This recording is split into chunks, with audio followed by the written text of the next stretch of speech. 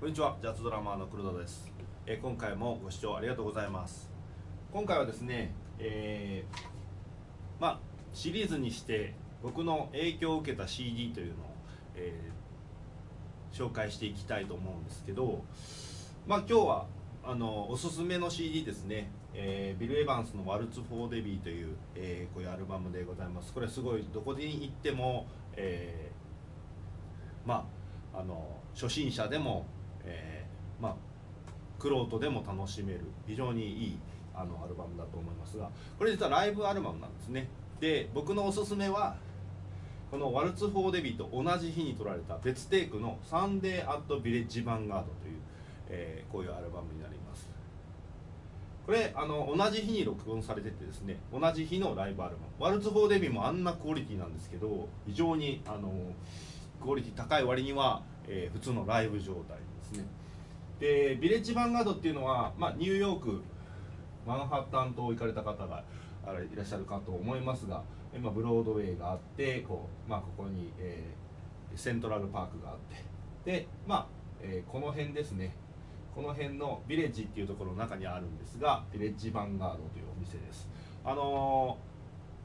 日本でもね本屋さんでビレッジ・ヴァンガードって有名ですけど、まあ、ジャズの有名老舗なクラブクラブになります。僕も何度も行ってますが、えー地下にこう入っていってね。えー地下鉄が通ってます。なので演奏中に途中でゴーってこう地下鉄が通ってる音があってそれもちょっと CD に入ってたりするんですね。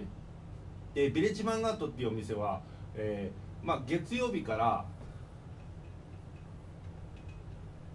月火水木金土日とあったら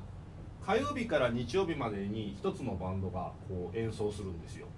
えーまあ、ポール・マチアンバンドとか、まあ、ジョン・コルトレーンバンド、えーみたいな感じのこういろんなこうこうバンドがこう帯で演奏していくんですね。ねエルヴィン・ジョーンズの演奏なんかは有名ですけどこう演奏始まるじゃないですか。そしたら毎日同じ、まあ、レパートリーをやるわけですよ。そうするとだんだんだんだん昨日はジャズってアドリブだから昨日こうしたからこうするとかこうなったからこうなる。でそのエルヴィン・ジョーンズの、えーとまあ、よく知ってる方に聞いたんですがエルヴィン・ジョーンズなんか最初はこうガーって盛り上がってこうすごく音楽が良くなってで一回落ち込むんですって。で最後の日にはもう信じられないクオリティになったりとかするという。なのでこう同じバンドでこうなっていく中でこうもうコアなファンは毎日とか、まあ、あのどうなったんだろうっていうふうにいろんな日で見に行くわけですよ、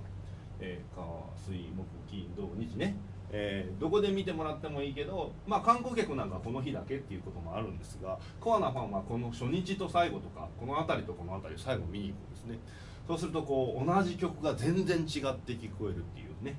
でこうこれ沈んだのもこう要はものすごく上手い人が沈んでる感じっていうのを楽しめるというかね。これあのワインのあのソムリエっていう漫画があって非常に僕は好き好きな漫画なんですけどあれにも書いてありましたがこうワインってこう悪い年があっていい年ばっかり酔って選んで飲むんじゃなくてこうダメな年も要は絶対にその人たちは一生懸命やってるんだからこう一つのヴィンテージをいろんな年を楽しむっていうのが非常にこれはこれで一つの醍醐味なんだっていう話をしていてですねえお料理に合ったでもこうなんかこう苦悩とかそういうのも伝わってくるそういう贅沢ワインというこう歴史を感じる飲み方をしようみたいなことが書いてありましたがジャズもそうでビレバンスなんかはもう本当に、まあ、ダサくって言われるものも結構ありましてもうみんなこう意思疎通ができてなくてぐちゃぐちゃみたいな演奏。そういうのは本当にプロでもよくあるんです。そういうところも見ることによってこういう良さが分かるみたいなね。でサンデーアットビレッジヴァンガードっていうのは最終日にいわゆるもう最後も完成し尽くしたもういろいろやり尽くしたところの録音を取るわけです。だからサンデーアットビレッジヴァンガードってアルバムがいっぱいあるんですね。で月曜日は何をしてるかってお休みというかはここは、えービレッジヴァンガードジャズオーケストラ。レッジヴァンガードじゃあ VJO と今でも活動されてますが、えーまあ、昔は、えーまだ生きてた頃はサドサド・ジョーンズ・メル・ルイスバンドだったわけですがここはビッグバンドって16人編成のバンドがやってるわけですよ。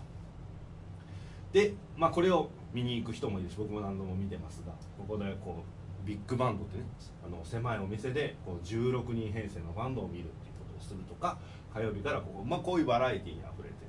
でこの日曜日の日の演奏になるわけです。ワルツ・フォー・デビーなんかはこの日雨降ったらしくて、まあ、演奏する前にお客さんが少なくて、まあ、親戚とかに電話してでこう知り合いの親戚とかいっぱいいるから結構こうジャズ分かってない人がこうたくさん入っててこう話し声とかカチャカチャしたこう楽食器の音とかもすごい入っててかっこいいんですけど、まあ、それが好きっていう人もすごくいるんですがあのワルツ・フォー・デビーね。ワルツ・フォー・デビーとこれの、えーサンデアット・ビレッジ・ヴァンガードっていう方はこれはですね、えー、ともうそのベーシストのスコット・ラファロ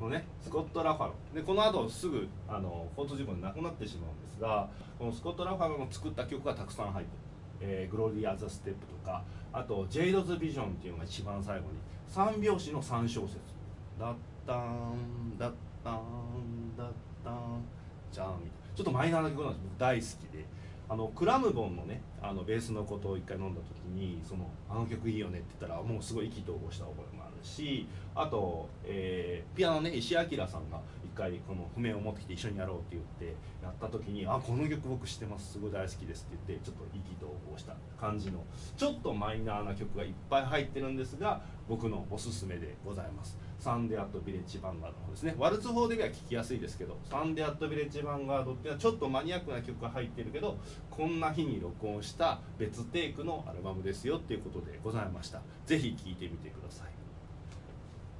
ご視聴ありがとうございました。